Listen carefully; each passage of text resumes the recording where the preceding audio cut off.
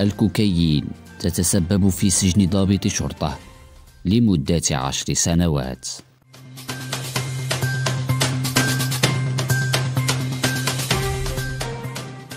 أدانت غرفة الجنايات بمحكمة الاستئناف بالرباط مساء اليوم الاثنين الثامن والعشرين من فبراير الجاري. ضابط شرطة كان يعمل بمصلحة مراقبة التراب الوطني بمدينة طنجة بعشرة سنوات سجنا نافذا في قضية تتعلق بالارتباط بعصابة إجرامية تنشط في الاتجار في مخدر الكوكايين. وقد أدانت نفس الهيئة القضائية شقيقة موظف الشرطة المذكور بسنتين حبسا نافذا بعد ثبوت تورطه هو الآخر في أفعال المشاركة في ارتكاب هذه الأفعال الإجرامية.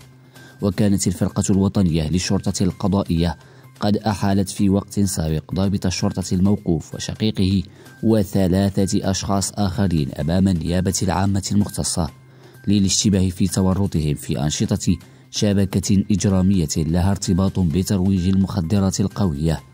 حيث تمت متابعتهم في حالة اعتقال قبل أن تصدر هيئة المحكمة أحكامها الاستئنافية. في هذه القضية في وقت سابق من مساء يومه الاثنين يذكر أن توقيف هؤلاء المشتبه فيهم جاء وقتها في أعقاب عملية أمنية باشرتها الفرقة الوطنية للشرطة القضائية على ضوء معلومات دقيقة وفرتها مصالح المديرية العامة لمراقبة التراب الوطني وذلك في إطار جهودها لمواجهة مخاطر الجريمة بجميع صورها وأشكالها.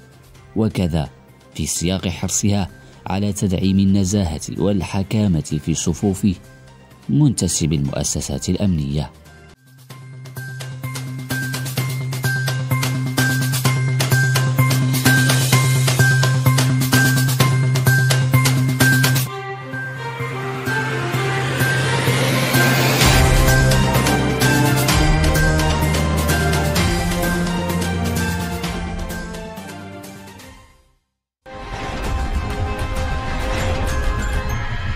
اشترك الآن في قناة أشواق تيفي وفعل الجرس ليصلك كل جديد.